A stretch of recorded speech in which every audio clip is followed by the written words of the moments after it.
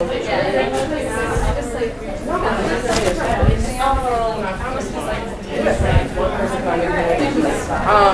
I forgot that you was my daddy. Oh, wait, that's like it, shit. It is.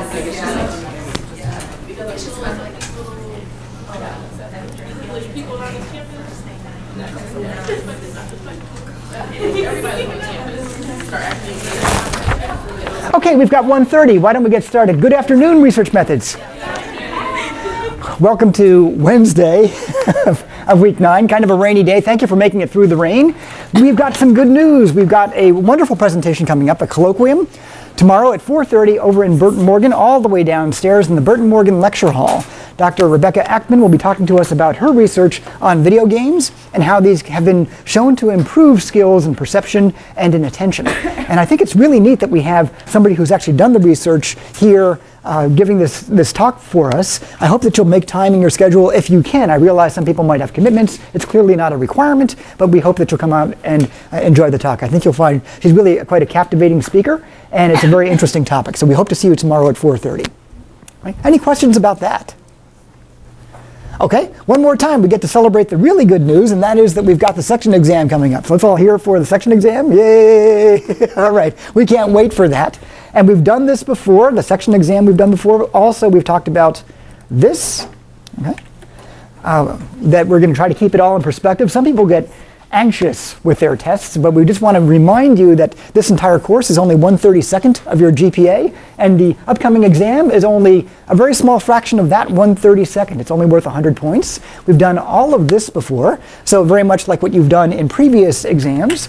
Uh, the emphasis is going to be more conceptual than computational. Right? We, are going to have you do, if any computations at all, and there might be a few, uh, there'll be really quick ones inside of Excel. You'll not need to open SPSS uh, this time around. And you might get to be quite familiar with the in function, the dist function. You might want to review what we did the other day with confidence intervals and so forth. Uh, z-scores, um, effect size. Uh, the, there was a formula that we had for Cohen's d and so forth. So please make sure that you know standard deviations and uh, standard errors, the things that we've been talking about here, but no extended uh, computation. It'll be very limited uh, computations, and you won't need to open SPSS at all. All right, any questions on that? Okay, wow. Wow, that went really quickly. Okay, let's put that one away. It sounds like you're well prepared for that. And Sorry, sure. Um, you said review all PowerPoint, so does that mean the stuff from last test? Yes, yes, the nature of our work is indeed cumulative. Uh, but you do have limited time, so I would say please emphasize the material since 9:30, September 30th. That's the first day that we came back after we had our first section exam. So the emphasis will be from 9:30 on to 10:22. Uh, but the nature of this class is cumulative. It is a quantitative reasoning class. Okay? Yeah, please. Will the layout of the exam be like the last one? Approximately. The question was, will the layout of the exam be like the last one? It'll be short answer kinds of things. Yeah. So like not multiple choice. Right, not multiple choice. And, and thank you for the question. Uh, why not multiple choice? There are some Denison professors that will occasionally use multiple choice exams. I think multiple choice exams can do certain things well. At Denison, one of the things that characterizes your, your education is that the faculty here really push the students for what we call generative responses. That is, we want you to be able to generate sentences and sort of justify why it is that you're coming to your conclusion. And that's harder to do on multiple choice tests. Uh, multiple choice tests are very easily graded, and some faculty members across the nation like it for that reason. Uh, and you actually can test critical thinking by uh, appropriately worded multiple choice exam. But we really want to see how people are generating their responses uh, because much of life is not so multiple choice. So we think that's better preparation. Okay. All right, we're going to do something a little bit different today. We're going to go back to something that we touched on uh, we've already dealt with the 1015 PowerPoint. Uh, you don't have to open it right now if you don't want to. Uh, but when we touched on the 1015 PowerPoint last time around, we were coming up on a computer quiz at the time. And this 1015 PowerPoint dealt with t-tests, and we did, actually didn't have t-tests on uh, on the last quiz. We'll, we'll, roll it into maybe the next computer quiz. But I also wanted to give it its due. There are some conceptual issues that are very likely going to come up on Friday's test. And we've already had some conversation about this. You've already watched the video on this. But we, we shortchanged it a little bit last time, I think appropriately so, so that we could prepare you well for the last quiz that we had just before you went on fall break. So I thought it might be appropriate to go into some of the issues that we had on the video, and then toward the end of today's session, I think it might be best to reserve a few questions for anything that you might have as a, uh, a burning uh, desire to know, particularly with respect to the 930 to 1022 PowerPoints. Okay. All right. All right, so why don't we do this? Why don't we see if we can start rolling on this one sample t-test idea? First, who remembers hearing about the one sample t-test?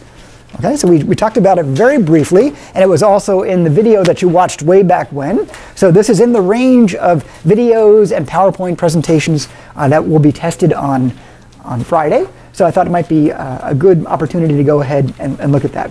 So as you might remember, and I think it was Jenna who may have had the question for us. We had taken a look once before at this.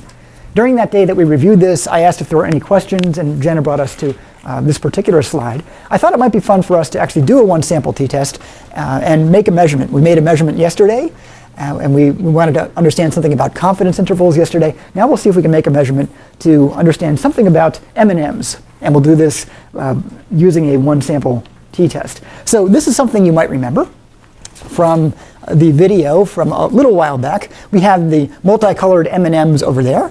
And this is allegedly the proportions that these things are manufactured in. Now, uh, you might imagine that they probably can't really guarantee exactly 16% in any one packet.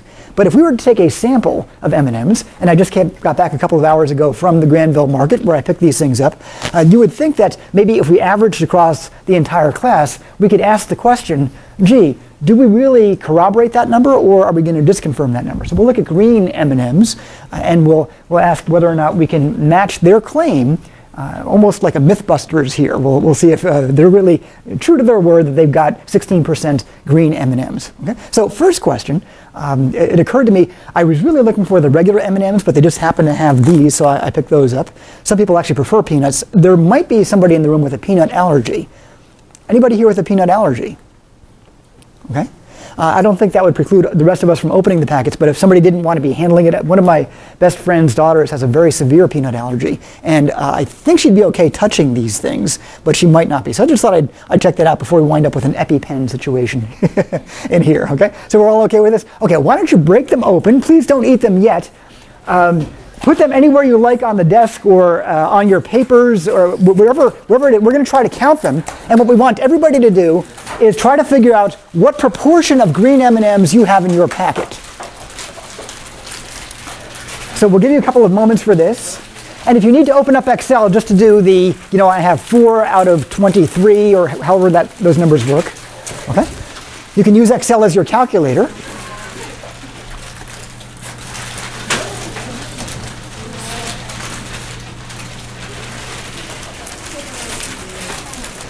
Try not to spill them. they do roll a little bit. Don't eat them yet. No, no eating yet. We're going to count them up. And then what we'll do is we'll go around the room and we'll ask you to report your proportion. And we'll get a uh, mean on these. We'll get a standard deviation. We'll actually do a one sample t-test. We might be able to see a 95% confidence interval. Uh, all kinds of things to be done here. While you're doing that, I'm going to create a variable in Excel called um, number, no, we'll call it percent, green, mm.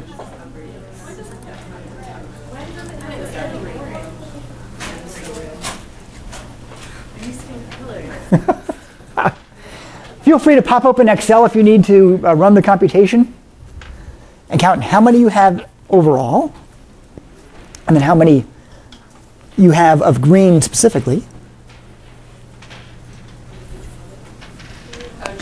Yeah, we'll, we'll do, yeah, you could group them by color if you want, but we're really interested in green. If, if we had a little extra time uh, and you wanted to make notes of what other colors you had, why don't we do that? You know, if you can, if you can maybe compute all possible percentages, we'll do the test on the green, uh, but we have several different colors here.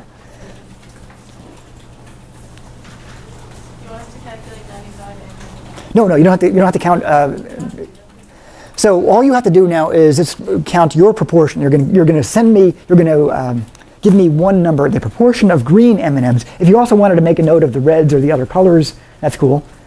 but we're really just testing green here. See if these folks are true to their word. To be fair to the Mars company that produces this, I think they only make this claim about the regular M&Ms. I don't know if these proportions hold for the peanuts also. Dr. Weiss, who has the class before us, uh, does this every year, and he claims he's never been able to falsify what they've said. It is a falsifiable claim, but they've always been true, that they've always found um, that their numbers are within statistical error of the 16% claim. But he uses regular M&Ms, so now we're trying peanut M&Ms.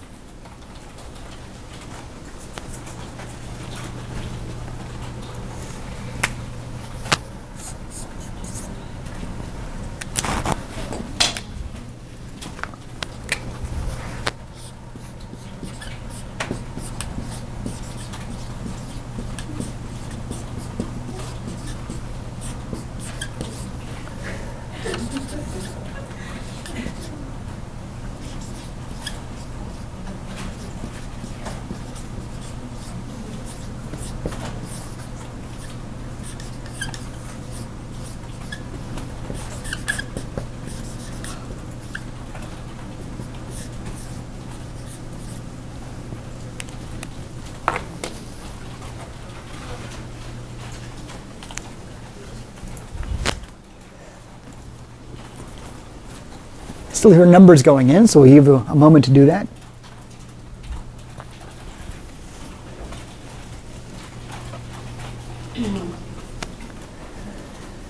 How many people have their green M&M proportion?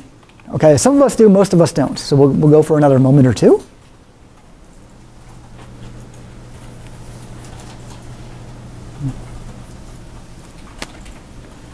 I'm just looking around the room and I, I see pretty good variability. Some people have a big stack of oranges.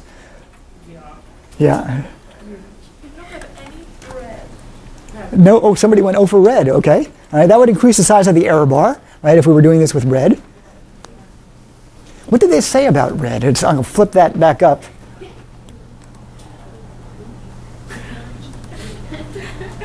Red was supposed to be lowish, that was 13%, okay. So we're looking at sweet 16. That's going to be our number. How many people now have it? They have their proportion, their percentage. Okay. Anybody? I think we're good to go. It, yeah. Okay.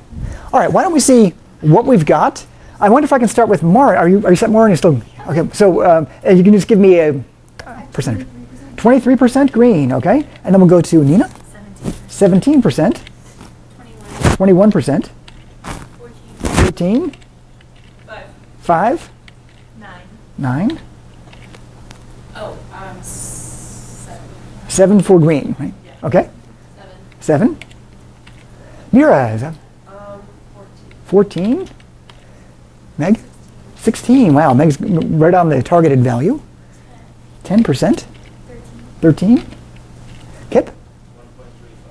1.35, okay. I'll buy it. 19? Natalie? 17? Oh, I'm sorry. Okay. right. All right. So we'll wait for just one more uh, number to come on in. Okay. So, uh, and I'm curious, can people start float? Let me go and yell out your number of uh, M&Ms overall. I'm wondering.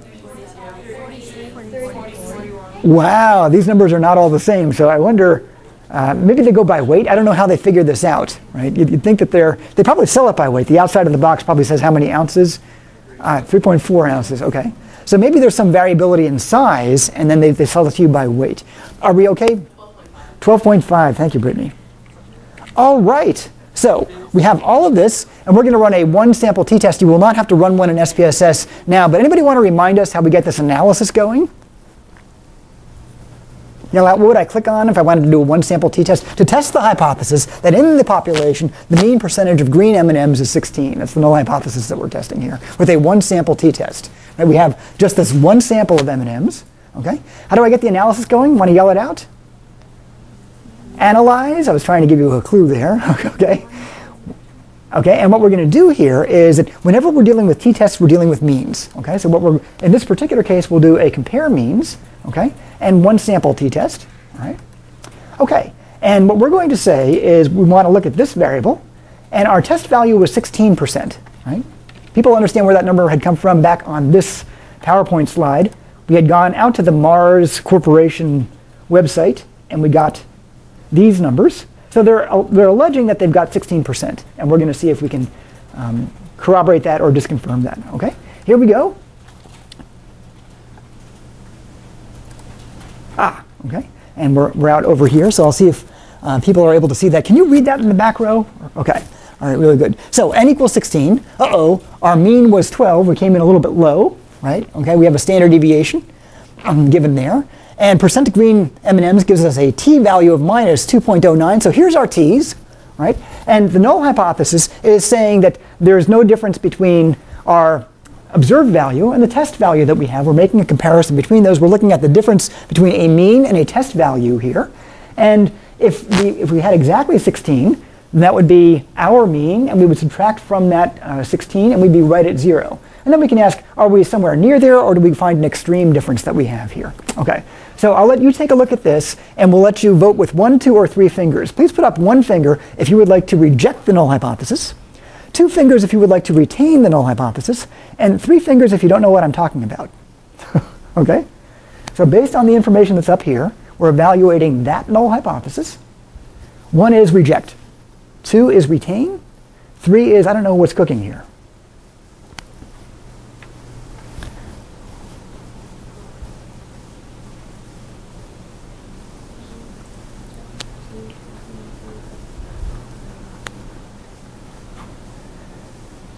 Okay, I think I see most people putting up twos.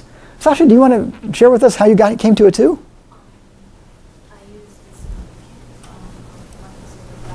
Okay, you use a significant value of 0.054. Two is to retain, yep.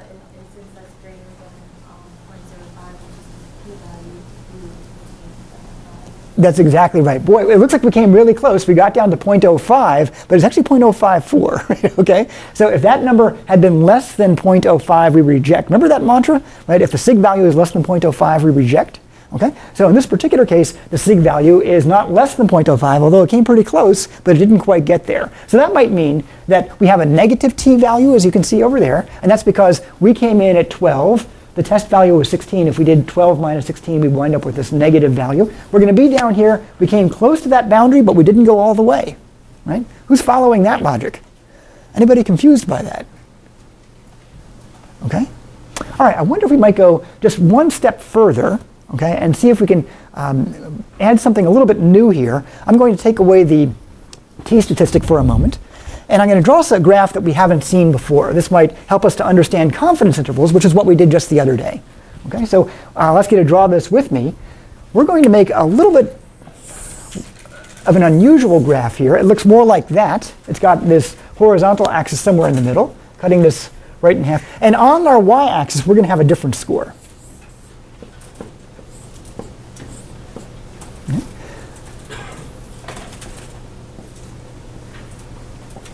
That's our difference score. And whenever we're doing a t-test, we're really looking at a difference between maybe two means or maybe one mean and a standard value, which is what we've got going on here.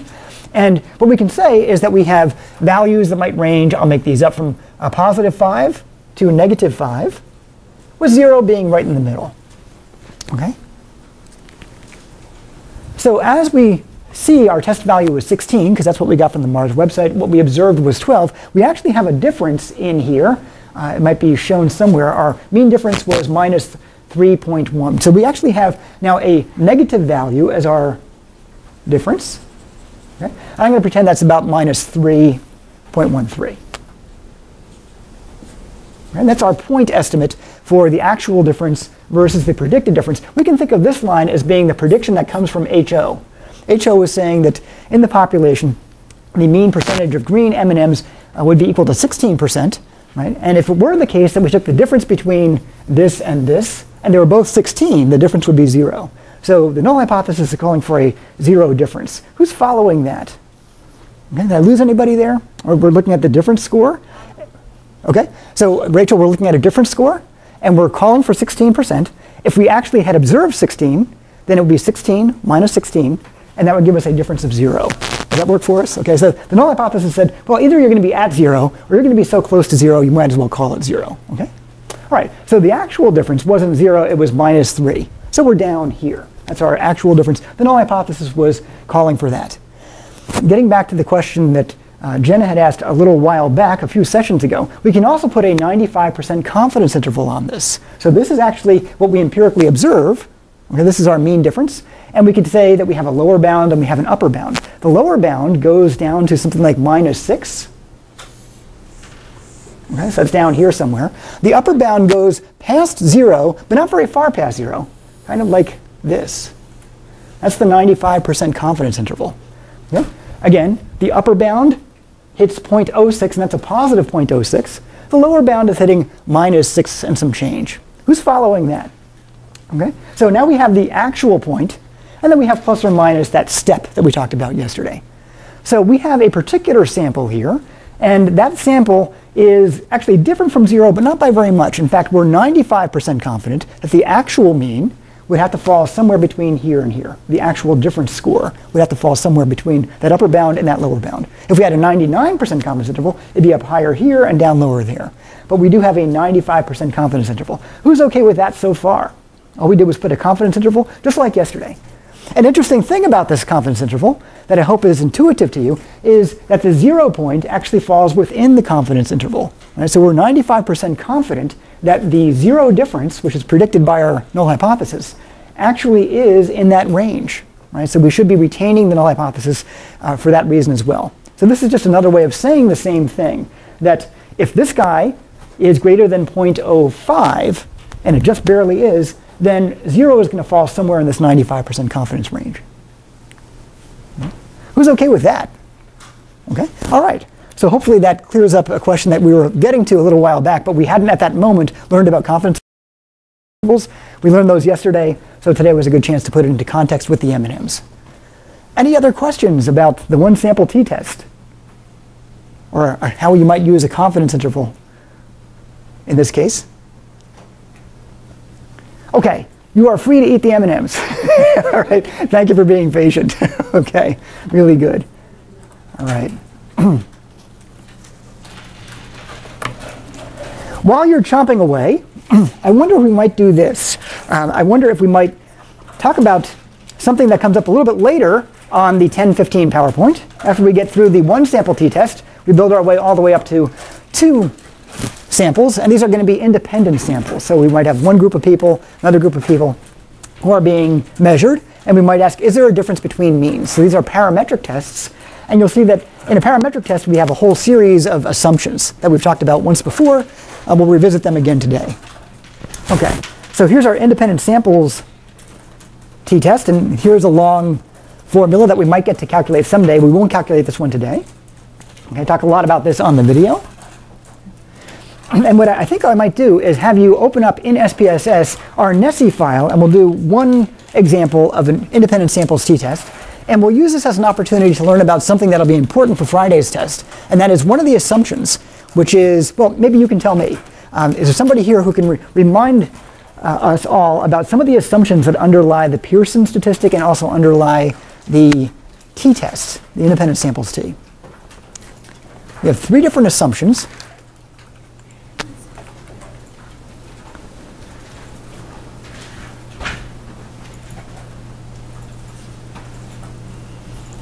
Okay, Natalie's got something.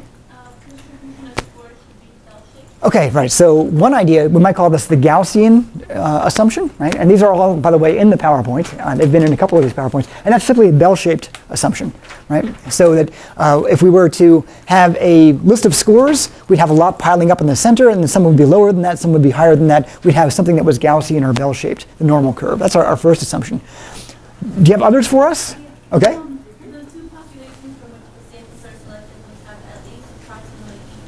Okay, we'll call that the equal variance assumption, right? So um, this is one bell-shaped curve. Maybe one of our samples comes from that. And then this is another bell-shaped curve, which has about the same variance. But it could be the case that one of them has a variance kind of like this, and one of them has a variance kind of like that, right? So we want to make sure that we have roughly equal variances. I'll draw that here. Okay. So if one of the 2 has a distribution like that, and the other has a distribution like that. Those might not be exactly the same, but those are pretty close to being the same width.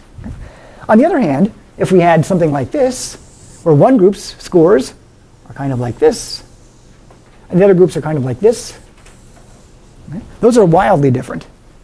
Okay, those are very, very different. And we wouldn't have an equal variance assumption satisfied here, but we would over here. Who's following that? Is that working for us? Okay, so, so the first thing is it has to be bell-shaped, and then the bell shapes have to be at least roughly the same width. And there's going to be a test that we learned about today called the Levene test that gives us some indication about whether we can safely say that we have equal variances or not. And this will be a little bit like hypothesis testing itself. We can say that in a typical null hypothesis, we might say that we have something like the equality of means. The test value uh, that we observe will be equal to 16. Those two means will be equal. We can also say that we can have an equality of variances test, that the two variances will be equal. And then we can see should we retain or reject the notion that we have equal variances. Just like we've been doing, do we have equal means? Okay? Now we're just doing that for equal variances. Who's following that? And then our third assumption, just to finish it off, it won't actually play a really big role for us, but just to be complete. Independence of value does not depend on any other. Okay, right, so this is the independent assumption. So we have uh, the normalcy assumption, we have the equal variance assumption, and we have the independence assumption. Those are, those are the three for any parametric test, right? And this is all, by the way, uh, in on the, uh, here they are. I guess it's slide number 26 on the 1015 PowerPoint presentation. And it's going to be on some other PowerPoint presentation as well uh, when we went back and talked about um, the Pearson statistic. It's in there somewhere. okay, any questions on that? What the three assumptions are. So we're going to do a little bit of work here. We'll do an independent samples t-test. I wonder if you can open up SPSS and can you get to the NSSE file?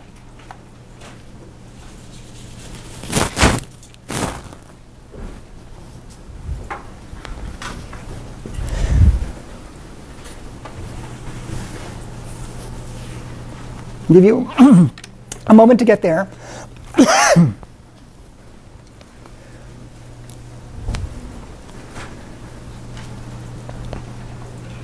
How many people have that? Got the NSSE up?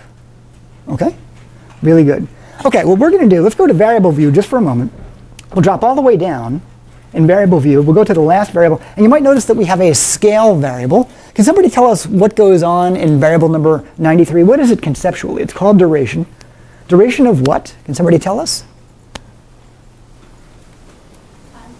Uh, duration is a time. Uh, time for what? Time for M&Ms? Time, okay, how much time did you spend filling out the survey? And by the way, for those of you who are going on in psychology, that's actually a very interesting question because it could be that somebody comes into your study from Psych 100, they came to you through SONA, and you've got a survey that you're really excited about and you want to know how they're going to respond. And some students from Intro to Psych might not be that interested in your survey, so they come in and they just sort of run through it very quickly without really even reading the questions.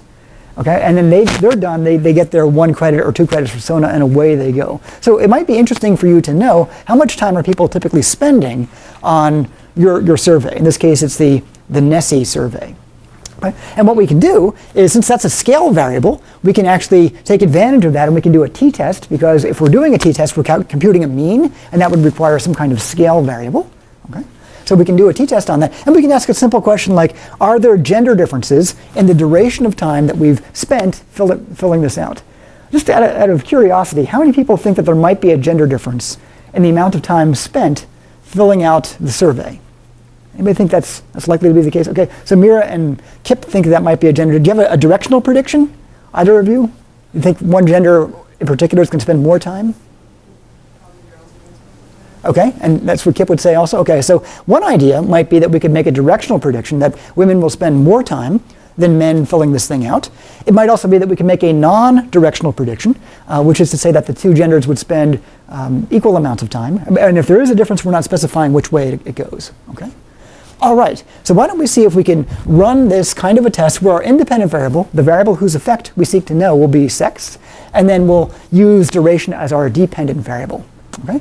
Anybody want to help me out on how to get this analysis going for this uh, two sample t-test and independent groups t-test? Analyze, okay. And because it's a t-test, we'll be comparing means, okay?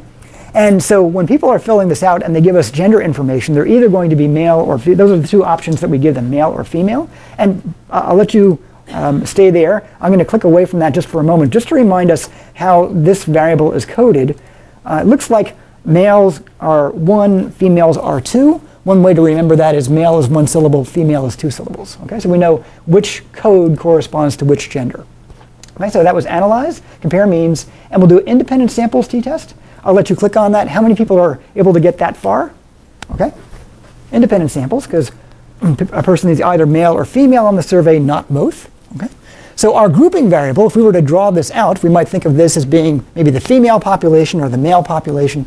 Right, our grouping variable is going to be pretty far down on the bottom. It looks like it was variable number 86.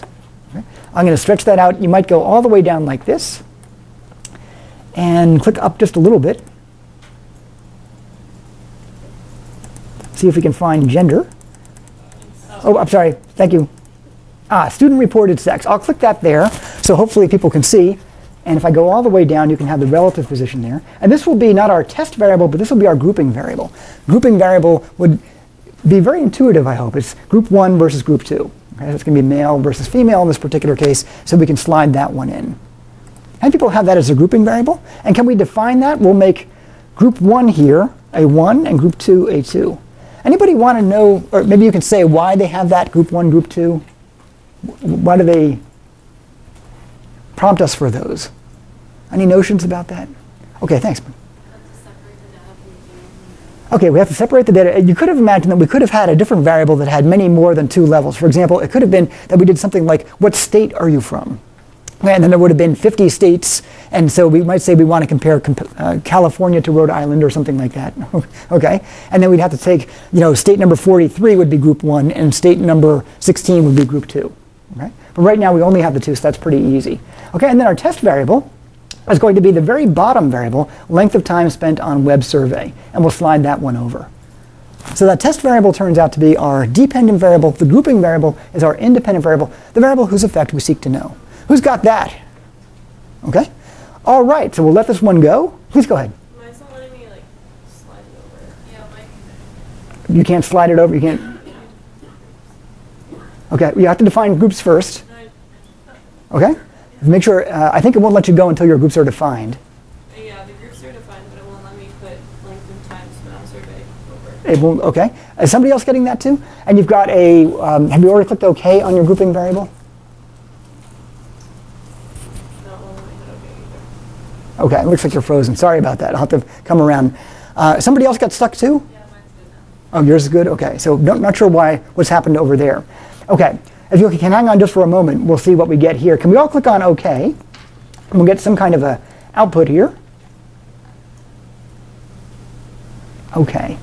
All right, and now I'm going to step us through something new. Now, remember that we said that if we're going to run this t-test, we have to satisfy certain kinds of assumptions. And what we're learning about today is this uh, assumption that we spent just a little bit of time on already, this equal variance assumption. So we're going to jot down that this is actually a two-step process. You can think of this as a two-stepper, and if you want to write down two-stepper, that's okay. Whenever we're doing an independent sample t-test, we have to do thing one and thing two. Okay? The idea is we evaluate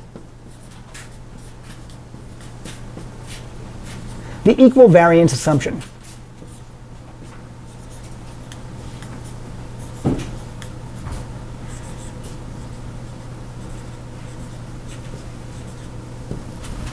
And whenever we're evaluating an assumption or evaluating a hypothesis, we'll always use our SIG rule, okay? Um, and we'll put the SIG rule over here. If SIG less than 0.05, what do we do if SIG's less than 0.05? Typically? Reject. You've already gotten to be pretty good at that when we're testing the null hypothesis that the means are equal, for example. Okay? We've already gotten to be good at that. Here we're going to apply the same kind of a rule, but we'll take one preliminary step. We'll ask, is this assumption valid or is it not an assumption? That's, that's valid. And then we'll also evaluate HO. This is the one that you know already. And then we can say over here, if sig less than 0.05, same thing, reject. So that's always our rule. If sig less than 0.05, we'll reject. This time around, we just have to check in on one of our assumptions before we proceed. Please go ahead. How are those two things different? Okay, this is the evaluation of an equal variance assumption. Okay, this is an evaluation of HO are the two means equal.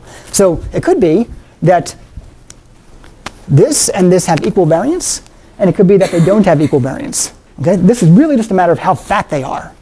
Okay, if you allow me, Kip, on this axis, this particular distribution has a lower mean than this one does. So the question about means is where are these positioned left, right? The question about variances is how fat are they? Okay, if, you, if you allow me to grab that, if you can imagine, I can grab that, I can slide this over here, I can slide this over here, I could redraw it in here.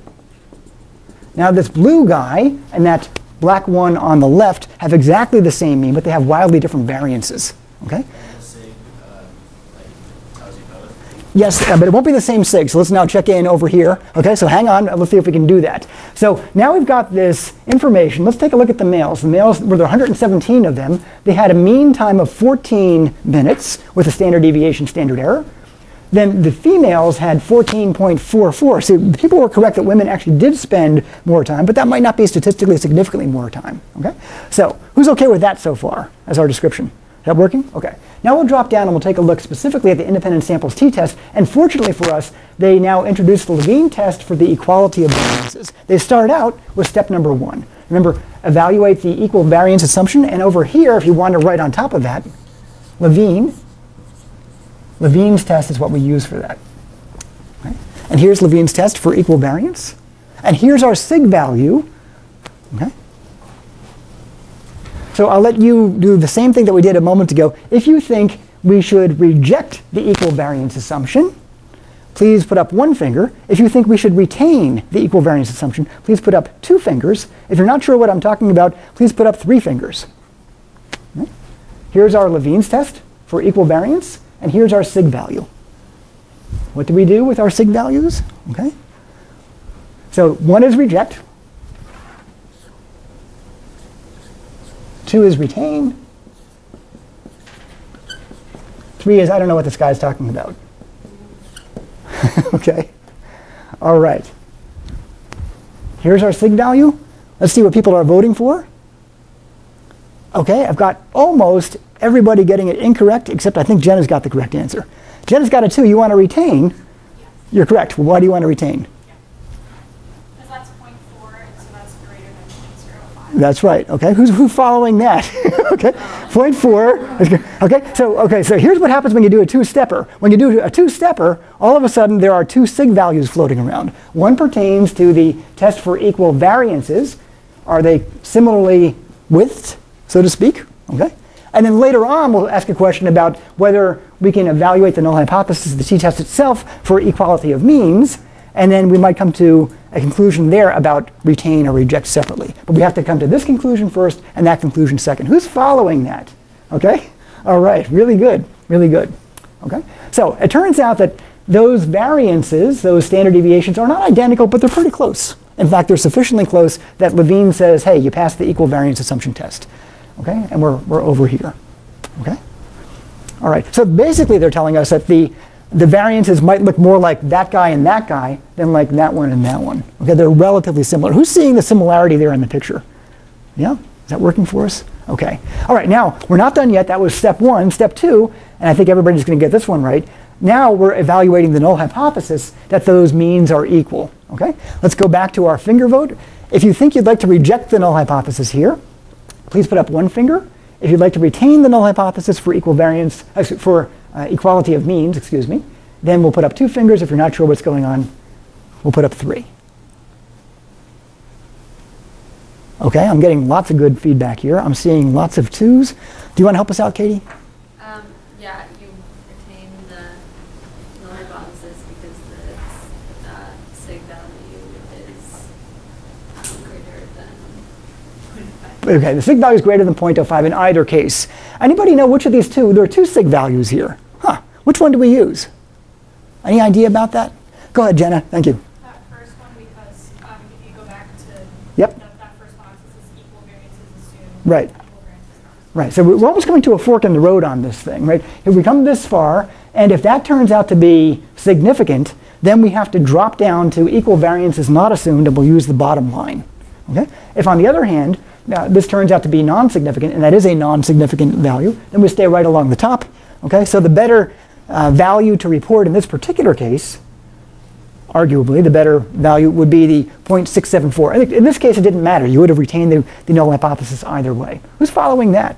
And then Natalie has a question. Yeah, so what happens when they oppose each other? When they oppose each other. Yeah. So- So, Oh, thank you. So could it be the case that this guy is, oh, something like um, just on one side of 0.05 and this guy's just on the other side? The deciding factor then would be, can you keep that variance or not? Right, Can you, did you pass this equal variance test or not? Okay. So once you're, you're getting this far, that decision is kind of already made. Okay. You're either going to be on the bottom line or the top line. Okay? Right. And there are cases when you're right at the margin where, uh, depending on what you're doing with your assumption, you either reject the null hypothesis or you don't. So this is just a little bit more confusing, and that we do this one a little further into the semester like we are because we needed you to get this down first. That's the rule that you learn, and you'll always apply it. The new wrinkle today is we're still going to apply it like always, but we have one preliminary step. We're going to test our assumptions of this parametric test. Go ahead, Jenna. so what does it mean, assuming that this can happen, if you, if like, uh, retained the null hypothesis or, or sorry, retained. The equal variance assumption, yeah, that's- But, like, rejected the null hypothesis, like, Yeah. what does it mean when they, those two are? Yeah, right. So what this is telling us, and uh, maybe we can all do this with our hands. Can we all can we all make a bell curve? Okay, let's all make a bell curve. All right. So show me a really thin bell curve. Show me a really fat bell curve. Okay. This is how fat is your bell curve. Okay. That's all this is. Right. This one is where are the bell curves left or right relative to each other. Here, the two bell curves are very, very different from each other. Now they're more similar. Now they're more similar. Now, okay. So this is all about really the means, and this is about the variances. Does anybody remember that when we do descriptive statistics, we have two broad categories of descriptive statistics? What those might be? Central tendency, and what was the other thing? Dispersion. This is about dispersion. This is about central tendency. A variance is relatable to a standard deviation, right? Actually, um, the standard deviation is the square root of the variance. Okay, right? Okay. So this is all about how wide is it, how variable are these scores, how dispersed are the scores for the one group, and how dispersed are they for the other group. This is what are their means or what's their central tendency. This is a statistical test of their variances or dispersion. This is a statistical test of their central tendency. Who's following that as a distinction? Okay. Now we only came into that two-stepper once we had two different distributions. If we had a single sample t-test, there's only one sample, right? So it couldn't really be different from the variance of the other sample. There is no other sample. There's only one. Okay. All right. Great. Why don't we go ahead? Are any questions on that? That's just a stretch, Mira? Just a stretch? Okay, that's fine. Okay, really good. Okay, and, and again, you're not going to have to open SPSS, but I might ask you something about, gee, if you found a sig value that was greater than 0.05, what would you do? And if it's greater than 0.05, we're retaining. If it's less than 0.05, we're rejecting. That rule never changes. Mhm. Okay. Why don't we go ahead and look at the very last component, and then maybe we'll save a few minutes also for questions that people might have. You can continue to chomp away on your uh, M&Ms unless you're already sick of them. okay. Anybody want to help us out with this deal of um, two sample t-test, uh, excuse me, two-tailed t-test? That's what I meant to say, two tails versus one. Which is more conservative, two tails or one? Actually, two is more conservative. Right, that was that was a good guess. All right. All right. Let's see if we can understand what these things are. Two tails or one. That's the name of this section. Okay. All right. So what we can say is that we can always have a null hypothesis that looks like this. In the population, the means for the control and experimental group will be equal, and then we can just simply put in the not. They will not be equal. All right. And if we say they will not be equal, we haven't specified which one's going to be greater than which. All we're saying is that they're not equal to each other. That's all that we're saying. We've made a non-directional prediction. Who's okay with calling that non-directional? Does that mean something to all of us? Okay. Now, other times, we might make a directional prediction. Uh, Just a moment ago, Mira and Kip were leaning toward there probably is going to be a difference between men and women and how much time they spend filling out the NSSE. And they had a intuition that maybe the men are going to spend less time than the women would. And actually that was true, although it wasn't statistically true, right? but that it was in that direction. they were making a directional prediction. They were saying men would spend less time than women on that particular survey. Okay? So now that might be a different looking kind of null hypothesis. Okay? In the population, the mean for the control group will be greater than the mean for the experimental group. I can tweak that here. In the population, the mean for the women will be greater than the mean for the men. Who's following that? So now we're specifying that the difference is going to be on a particular side, and it won't just be randomly on this side or that side. Please go ahead. Oh, oh, you're just following that. Okay, thank you, thank you. Okay, okay. So what we can say then is, as we've seen this many times before, we can reserve the five most extreme percentage points, two and a half up here, two and a half down there. Who's okay with that? Okay? And we don't really know where the difference is going to land. It might be over here, it might be over on that side, but it's the extreme most 5%. If we make that kind of prediction, we have a two-tailed prediction.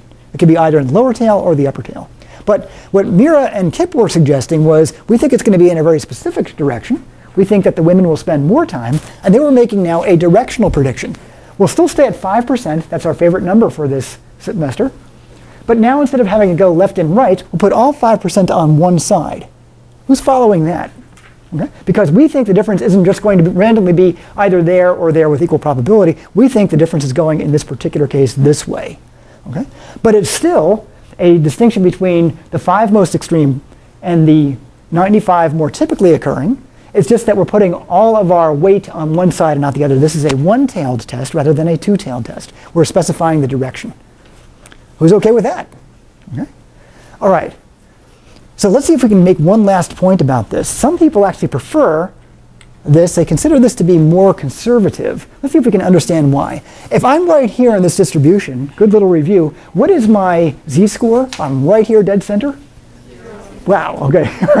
All right, and then I might try to go out to this 97.5 percentile, okay? And uh, to get from the 50th percentile at zero to the 97.5, I have to be 47.5 centiles away. And people are following that number, okay? I'm at 50, I need to get up to 97.5, that's a 47.5 centile change. How about if I go with Kip and Mira's number, I start here, dead center, now I need to get not all the way up to 97.5, but only up to 95.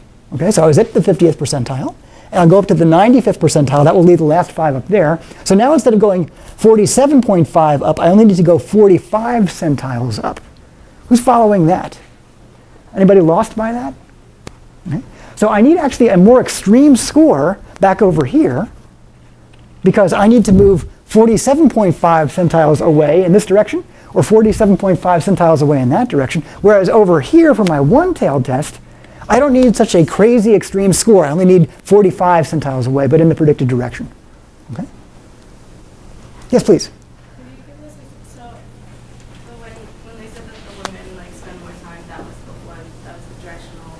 Yeah, right. And then when they were just saying the, like, or, like asking the question whether women and men. Differ. Do they differ? Right. That would be That would be two tails, right? So if that would be non-directional, right?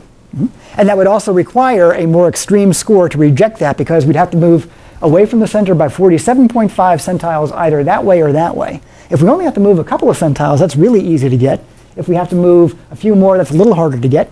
45 is easier to get to than 47.5. It's a shorter distance. Okay? Who's following that intuitively? Okay. All right, real good. Well, we have a couple of minutes. We've covered a lot of stuff since the last time around. Anybody have uh, something that they want to share with us? We have a, a couple of minutes to take some questions. We won't be doing any extended computation, of course. You can ask about something in today's 1015 presentation. Yeah, please go ahead. Um, I have something, I have a question about like percentile rank. Good. Um, so if you're like looking at a z-score and you want to find the percentile rank from that z-score, do you, like I know it's the area under the bell curve. Okay. Is it like the area to the right or the area to the left of like that number? Okay, so the percentile rank, if I can, here's, this is relatively bell-shaped. I wonder if I can take advantage of that. Okay, so let's say that you're at the 95th percentile, just hypothetically, okay? So that means that you're all the way up here. So that means that um, your score is at or above 95% of all the scores. Okay, so, so we're going from over here is zero, and then we're going to be adding it up to here's the 50th, uh, here's the 95th, and then there's 5% that way. Okay. Does that help? Yeah. So So we start from the far left, you can think of it that way, okay, on that bell-shaped curve, and we go cumulatively over to our right. Over here, we're at zero, all the way on the other extreme, we're at 100. Here, we'd be at 95-ish, okay? Okay? All right. I'll be around for another moment or, no, actually, we have a couple, we have one minute for the group, before we let you go. Anybody else have a question for the good of the order? Yes, please. Be. I could, but I won't. And, and let me tell you why. Yes, yes. That was a very good question, and I thank you for asking. Who's ever heard the expression, feed a person a fish, you feed them for a day? Teach a person to fish, and you feed them for a lifetime, okay? So I could do that. I could actually take the test for you also on, on okay? Right? I don't know how I do, uh, but um, so that's, that's the spirit in which that's offered. But it's a very good question, and it's a teaching moment, so thank you for asking. Oh, and there's the bell. So enjoy your M&Ms. I hope you'll come out at 4.30 tomorrow. Right? Thank you. Thank you.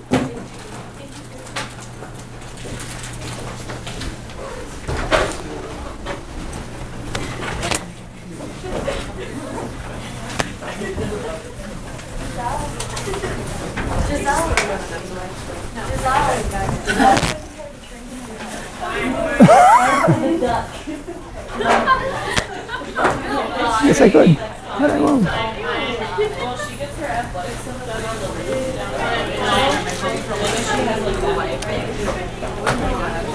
Yeah, I've done one of the. That was funny. Thanks, Brittany. Whoa, what's her name?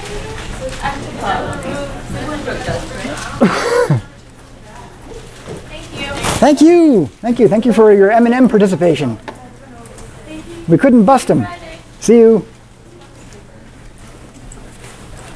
Okay, see you. Thanks, Meg. See you.